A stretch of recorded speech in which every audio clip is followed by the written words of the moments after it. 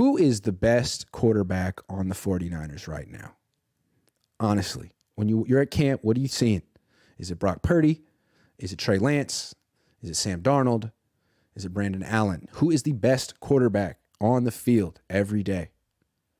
It's a really good question. It has nothing to do with last year or what Trey Lance did in the past or what Brock Purdy did in the past. Purdy's coming off an injury.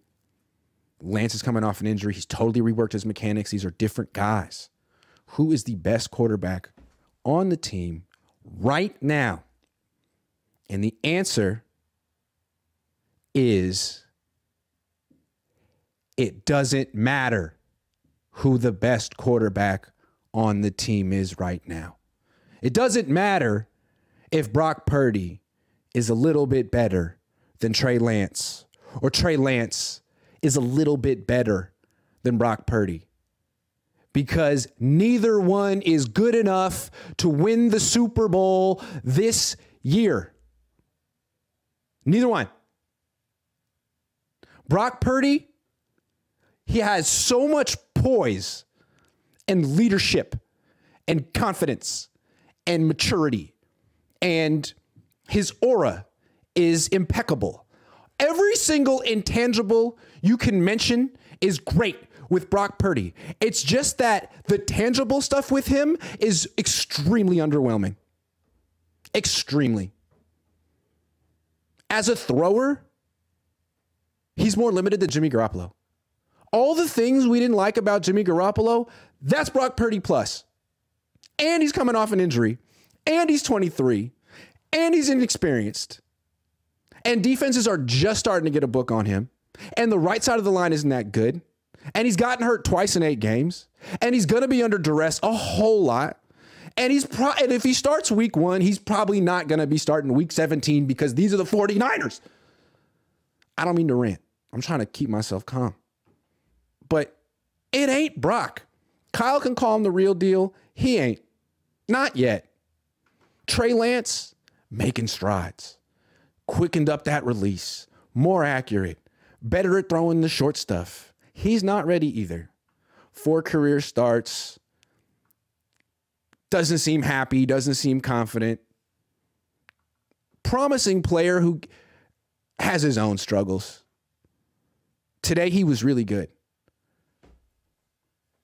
with seven throws, playing with the second and third stringers. I mean, he's really had no time with the starters this year. So if all of a sudden you wanted to throw him out there, maybe he'd be like Brock last year, or maybe he'd have no chemistry with the players out there and he'd struggle. He's not getting prepared to start. He's getting prepared to get buried.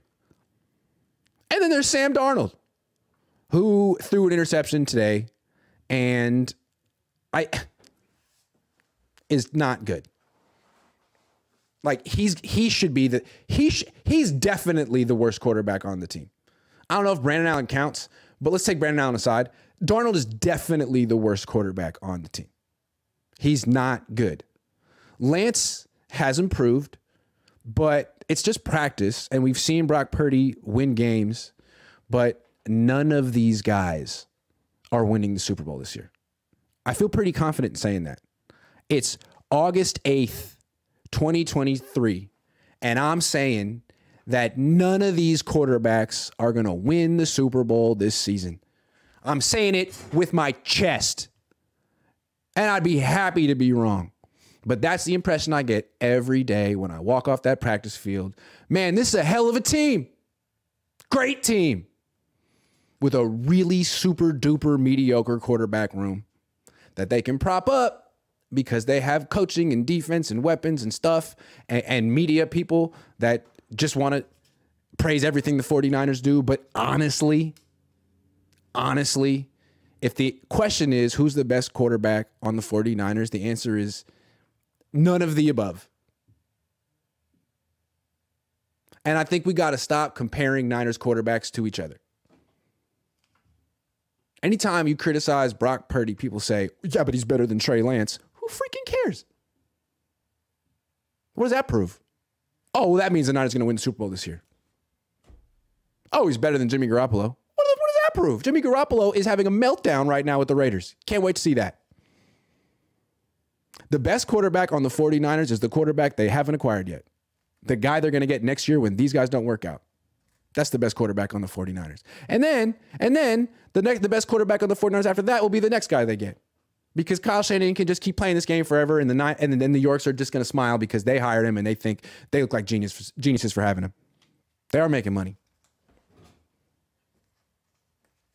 The best quarterback on the 49ers is Christian McCaffrey, Deebo Samuel. Juan Torres is the best quarterback on the 49ers. If Purdy were to get injured, Trey would play and shine. I don't know that he would play and shine. This is Kyle Shanahan, the 49ers. I have no idea about that. He might get hurt again. Claudio says, with that shaky right side of the line, all these quarterbacks getting a shot during the season, quarterback talk needs to chill. Purdy's elbow not holding up. Eesh. D Wood, 7,300, says, oh, he's improving in camp. Trey needs to take the job. From what you're reporting, he's improving, but he has to have uh, F this attitude and ball out. He, he does. Poppy Chulo, what's up, Poppy Chulo? Says, that's football. Shanahan's famous last words. Please remind him that on his way out the door. Hey, that's football, baby.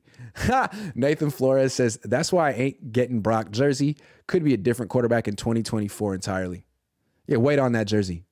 Rob Schneider says, Grant, you and Dave Lombardi and a couple other Niner journalists are always off with your own views on how the day went. Someone's feelings are in the way. Well, we also show our work. You can watch us. You can watch him me, all decide who you uh, agree with. We do our best to explain what we're seeing. It'd be nice if there were official stats, but there aren't. Rob Schneider. Chris Telerico says Kyle won't win a Super Bowl as a head coach, period. It's funny how Kyle thinks Brock's the real deal when his play, physical limitations are everything you need to play the position. When his physical limitations are everything you need to play to play the position.